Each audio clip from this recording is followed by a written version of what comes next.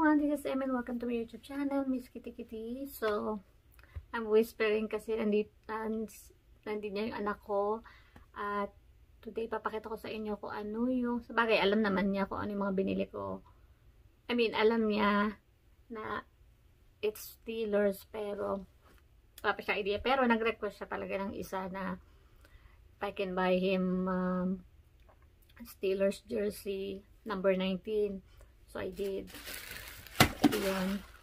Hindi ko na siya tatanggalin kasi gusto ko na siya ibalot ng ganyan. Ang hirap kasi. Tinanggal ko na to nung one time. Nahirapan akong ibalik.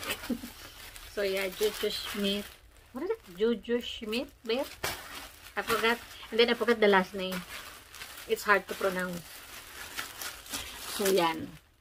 Tapos, I also bought this kasi it's only like 6 bucks or 7 bucks. I, I forgot.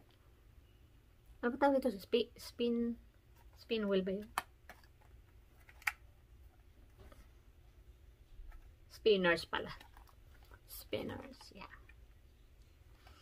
And this one, kasi magra-wrap na ako, magra-wrap ako. I-wrap ko kasi napakadami na. So, meron na akong mga nabili sa kanya. I already have uh, gifts under the tree. Pero, ito yung mga special to, special. Mababaliw siya pag nakita niya. Yung tipong parang pag ako nakita ng Hello Kitty. So, kasi since we're going to the Philippines next year sa June, so yan, binili ko sa kanya pang travel. This one. So, so yun guys. Naku, napakahirap. Actually, kasi napakahirap. It's hard to raise a teenager. You know, marami silang problema, marami silang napakadami kong binibiling mga damit dyan. Pero ang ang gusto niya lang, paulit-ulit siya, paulit-ulit sa Steelers na shirt, paulit-ulit sa Adidas na hoodie, ganyan. Pero this time, sabi ko talaga na marami na mag-change tayo na mag-change siya, magta-try siya ng ibang brand. So, binilang ko siya sa mga Guess, binilang ko siya sa Adidas, binilang ko din siya sa sa Puma. So, para, actually, I got this nung, kasi ito naman, binili ko to nung Black Friday. Bakit ko siya binili? Kasi pink. Diba? Something like that. So, yun. Um, ito yung gift ko sa kanya. Tapos marami pa doon. So, nakakapagod. At saka, ang daming gastos, no? Pag mag-Christmas talaga.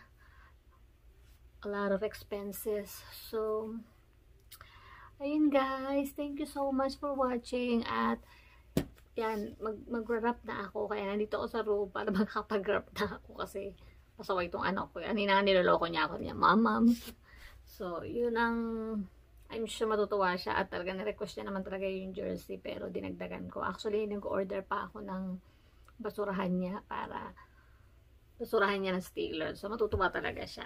Actually, I was thinking na probably next year, ayusin ko yung room niya. Gagawa ko talaga ng taro room niya naman yun. Uh, i-decorate ko siya ng Steelers para matuwa naman. Tsaka, sa totoo lang, before, ang, ang ano niya sa Steelers is si Antonio Brown.